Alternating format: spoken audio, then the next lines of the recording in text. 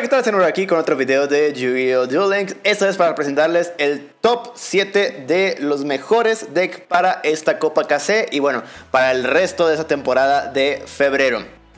Normalmente hacía videos de los mejores decks free to play y los mejores decks pay to win, pero la verdad es que pues haciendo esto pues ya estás incorporando todos los mejores decks. Y bueno, digo esto porque la verdad no los voy a tratar como unos tontos subiéndoles este video y luego luego subiéndoles otro video de, de Pay to Win porque es como que, pues para qué, si aquí están todos los mejores decks y soy Pay to Win, pues puedo armarme cualquier deck. Y soy Free to Play, pues ya, no te voy a decir de que, ah, sí, gasta en furros porque son muy baratos, mejor gástate esas gemas en alguno de estos decks que ahorita son buenos. Y para los que ya tienen decks anteriores, decks metas pasados, yo lo que les recomendaría es simplemente cambia tus cartas staple. Eso quiere decir, el mismo ejemplo de furros. Simplemente quítale eh, cosas como paredes, cosas como olas tornados, cosas que antes usabas, cámbiaselas y pon cosas que ahorita para contrarrestar los nuevos decks metas te sean útiles. De hecho, aquí cuando les muestre los decks actualizados de esa temporada, van a ver que se repiten varias cartas. Y bueno, las que más se van a repetir van a ser agujero de trampa exclusa simplemente para poder colocar a un monstruo, ya sea el reactor de los Ancient Gear o ya sea el Maximus de los Koaki, lo colocas boca abajo y así ya no se pueden mover y tampoco pueden activar sus efectos, que eso es lo más importante, especialmente para los Koaki. Y otra de las cartas que van a ver mucho va a ser la carta mágica de ofrenda a los condenados ya que esta carta puedes destrozar cualquier monstruo que te cause problemas y lo único que tienes que sacrificar es tu robo. Pero bueno, sin más que decir, vamos a empezar con el top 7. Eh, voy a usar la página de Duelings Meta, como siempre, ahí va a estar en la descripción de este video. Obviamente voy a cambiar un poco los tiers, ya que, bueno, en mi opinión, tiene que estar un poco diferente. Y también voy a agregar un deck más, ya que ahí nada más hay 6 decks pero es un deck que es muy obvio. Y bueno, también me di la tarea de buscar los decks actualizados, ya que si le hacen clic a cualquiera de estos decks, los decks que te ponen de ejemplo son decks de personas que habían ganado en los meses pasados, hasta dos meses creo que es. Entonces hay algunos decks que te salen de diciembre, esos no nos sirven ahorita porque necesitamos que estén sí o sí actualizados para contrarrestar Waki y contrarrestar los mecanismos antiguos. Pero bueno, sin más que decir, comencemos con los top tier. El primer deck es el deck de mecanismos antiguos. No lo voy a poner en ningún tier, pero lo voy a mencionar al principio porque es, es algo que sé que sí o sí vamos a encontrar en esta Copa KC. Es algo que nos vamos a topar demasiado. La mayoría de las personas lo usa con mecanismos ancestrales, la habilidad de Crawler ya que con eso te permite, pues una vez que tienes el campo, poder bajar al reactor con nada más un solo sacrificio y puedes sacrificar tu mismo campo que pone la habilidad. Bueno, no es un campo, es una carta de magia continua, pero bueno, la puedes, puedes sacrificar nada más un contador y listo, ya puedes tener el reactor en el campo. Y bueno, el reactor ni siquiera lo tengo que mencionar. Simplemente no puedes activarle nada, no puedes activarle curibos, no puedes activarle paredes, no puedes activarle absolutamente nada. Tienes, tienes que sí o sí activarle controlador o lo que sea antes de que ataque, porque si no, no puedes pararlo. Y bueno, aquí están metiendo la carta de Breaker, el guerrero mágico, simplemente para poder destruir tus propias cartas también o para destruirle a tu oponente cartas. También están metiendo los tres guibernos, ya que pues es el que saca las cartas, es el buscador, sí o sí debes de tener tres. Y bueno, aquí te están metiendo controladores, la verdad está bien, lo único malo es si te estás enfrentando al mismo deck y tienen esta cosa, la fortaleza, pues ya no podrás usarle controladores ya que no puedes seleccionar a sus monstruos. Entonces eso es lo único malo. Y bueno, también tienen los tres campos, que básicamente es la forma fácil de sacar al reactor desde el deck. Esto nada más puede convocar desde la mano, es lo único malo, por eso es que se llevan mejor tres de los campos. Y la última carta que es recomendable tener, de hecho creo que es la mejorcita para destruir cartas, es pesadilla sin fin. Nada más pagas mil puntos de vida y listo. Puedes destruir una carta mágica en el campo. Cualquiera. Puede ser tuya, puede ser la oponente. Lo único restricción es que tiene que estar boca arriba. Obviamente si tú tienes el campo, destruyes el campo y listo. Ya puedes sacar a tu reactor. Y bueno, en este caso están poniendo esta carta mágica. Supongo que es más como para contrarrestar el mismo deck. Pero bueno, esta es una carta que sí puedes cambiar fácilmente. Como dije, ahorita este deck es muy poderoso porque muchas personas no saben cómo contrarrestarlo. Pero eh, la forma fácil es agujero de trampa exclusa o ofreces a los condenados. Con eso destruyes a su monstruo y listo, ya puedes pasarlo. Pero bueno, considero este deck, el core de este deck es accesible. ¿Por qué accesible? Porque nada más tienes que comprar los decks de estructuras y listo. Pero obviamente es caro en cuanto a dinero porque sí o sí vas a tener que gastarte dinero. Y las cartas que, por ejemplo, las cartas de trampa se pueden cambiar por las que tú quieras. Incluso puedes meter ciclón doble para poder destruir tus propias cartas. Pero bueno, vamos a el siguiente deck. Deck Tier 1. El deck de los Kwaki. ¿Por qué se considera Tier 1? Porque tiene mucha estabilidad. Prácticamente es muy difícil que se briquee a comparación de los Ancient que se pueden briquear, que tienen más probabilidades de briquearse. Especialmente porque este tiene la habilidad de equilibrio. Entonces, nada más tenemos 6 cartas mágicas que son el buscador, el diamante, y la otra carta que prácticamente es indispensable para los Koaki, que es el núcleo. De ahí en fuera, pues las trampas son 6 cartas de trampa también. Están poniendo tres exclusas debido a precisamente para contrarrestar el deck de los mecanismos antiguos o su misma contraparte que son los Koaki. Y también, por si las dudas, Canadia Paleozoico y una carta para revivir. De los monstruos, de los monstruos son necesarios sí o sí el Urnite por 3.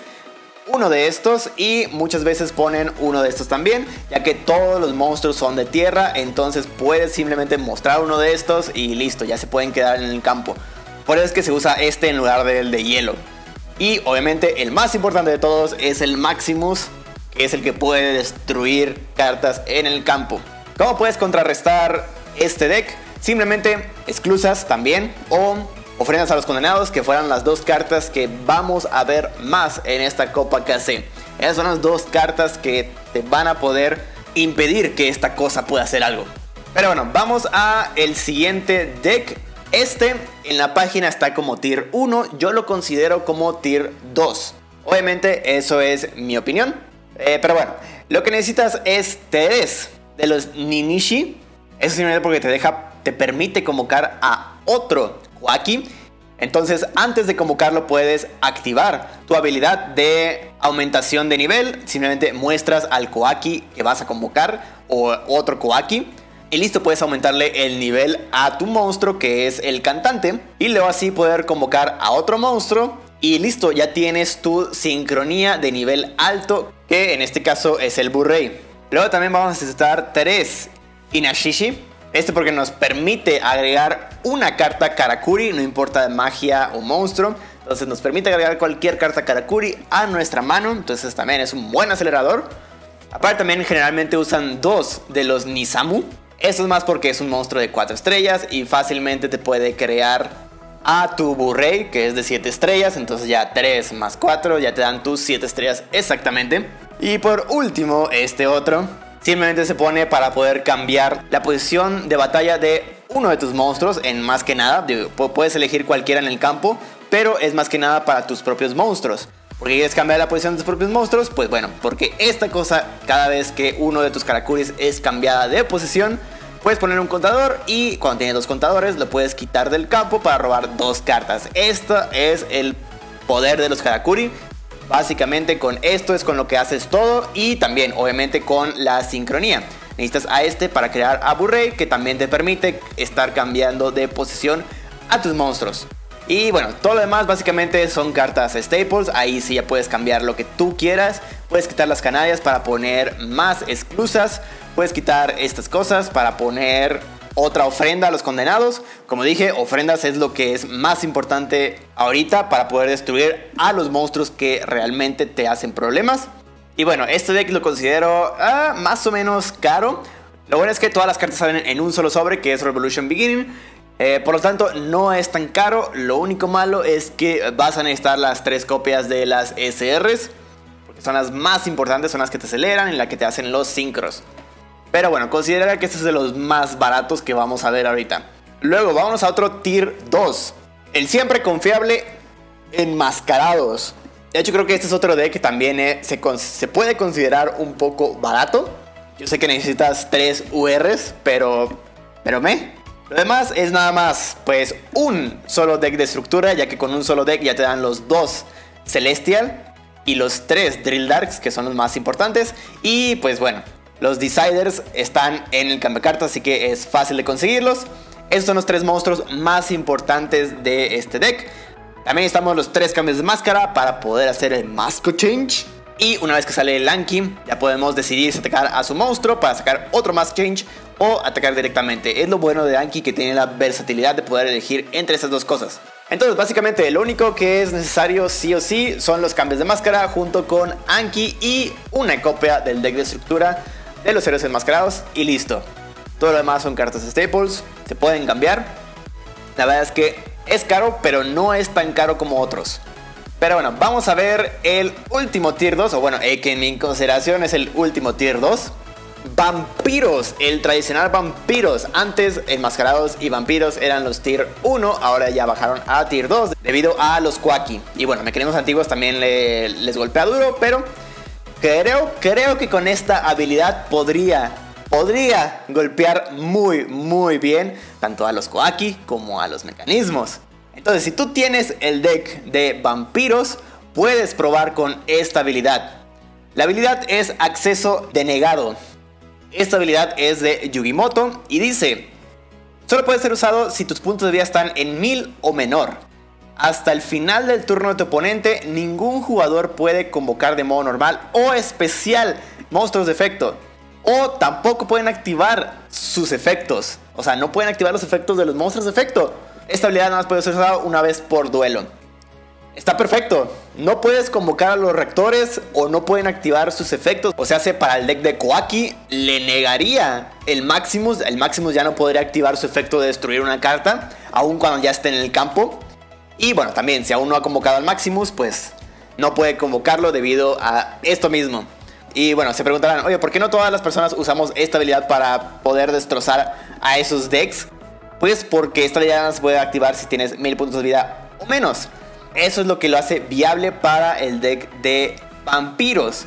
Como estamos tirando a nuestros secuazos y a nuestros familiares, con ellos vamos a poder pagar 1000 puntos de vida, entonces fácilmente nos vamos a estar reduciendo puntos de vida. También podemos meter ciclones del cosmos para reducirnos más puntos de vida. Y en todo caso podemos poner muros de espejo para reducirnos aún más puntos de vida. Pero bueno, de todas maneras, muchas muchos turnos casi siempre pagamos 500 eh, por el familiar, 500 por el secuaz y 500 por el dominio. Entonces ya serían 1500 más otros 1000 serían 2500. Entonces prácticamente nada más necesitamos dos ciclones del cosmos o una de estas y listo. Ya estamos del otro lado para poder activar acceso negado y ya. Pero bueno, eh, el deck es lo tradicional, doble Gozuki. Es, de hecho, el Gozuki es lo que único que lo hace caro. Pero bueno, usamos dos secuaces para poder sacar cartas de magia y trampa. Usamos dos familiares para poder sacar monstruos. Usamos eh, la mujer vampiro para poder agarrar a uno de sus monstruos como si fuera un renunciado. Eh, eso también es muy bueno contra los Quaki y contra los eh, mecanismos antiguos, ya que podemos agarrárselos. luego también tenemos a Grace que puede destruir una carta siempre y cuando tengamos nuestro reino vampiro. Y bueno, los cráneos samurai para que podamos tirar nuestros vampiros al cementerio. Y todo lo demás son cartas staples, básicamente. Bueno, nada más el reino, sí o sí debes tener a dos. Y también el dominio, nada más con uno es más suficiente para poder hacer una invocación extra de los vampiros. Y bueno, toma de los vampiros para poder sacar una carta de magia desde el deck. También lo bueno de los vampiros es que no tienen ninguna carta limitada, entonces puedes poner controladores de enemigos para poder tomar control de los monstruos de tu oponente. Así que como estás convocando muchos monstruos, puedes sacrificar a uno de tus monstruos débiles, agarrar control de su monstruo poderoso y listo, GG. Pero bueno, la verdad es que si yo tuviera vampiros, es lo que estaría usando en estos momentos para la Copa KC. Obviamente sigue siendo mi opinión. Pero bueno, vámonos a los decks tier 3. El primero es Buster Blader. Este lo tienen como tier 2, pero yo lo estoy poniendo como tier 3 porque siento que se te va a trabar. Y además de eso, también dependes mucho de cirugía de ADN. De hecho, esa es la razón por la que ahora se juega con última apuesta, porque es como que, no, pues necesito cirugía de ADN, sí o sí. Tiro todo al cementerio, voy a, voy a tratar de sacar algo y ya. Entonces, Cuando veas una, un deck que depende de esa habilidad, es como que eh, no es tan bueno. Pero bueno, también hay otros decks aquí en esta página por si quieres verlos. Y si dices, ah, bueno, voy a buscar uno que no tenga las Gamble, perfecto, puedes buscarlo. Pero bueno, este deck necesita sí o sí de tres de los dragoncitos. 2 eh, a 3 de los monsters. Aquí están poniendo nada más 2, pero están poniendo eh, las botas. Eso simplemente es para acelerar el deck. Esto equivale a como si tuvieras en realidad 4 de los monsters. Y también ponen siempre sus institutos de fusión para poder hacer la fusión. Y ponen entre 2 a 3 fusión de destrucción de los espadachines. Esto es para poder destruir a uno de los monstruos de tu oponente. Bueno, sacrificarlos más bien para la fusión. Y listo. Eso es lo bueno de la cirugía de ADN. Cirugía de ADN, conviertes a todos en dragón. Listo. Puedes quitarte de encima a sus monstruos. Y bueno, todas las demás cartas son cartas Staples, Canadia, eh, Traicionero y Breaker. Eh, aquí están las fusiones. Estas son las cartas que son caras realmente de este deck. Estas sí las tengo que tomar en cuenta, desgraciadamente, porque sí o sí las necesitas. Si no, no puedes usar tus cartas de fusiones. Entonces, sí voy a tomar en cuenta por lo menos tener dos fusiones, o sea, hace una de estas y una de estas o dos copias de estas.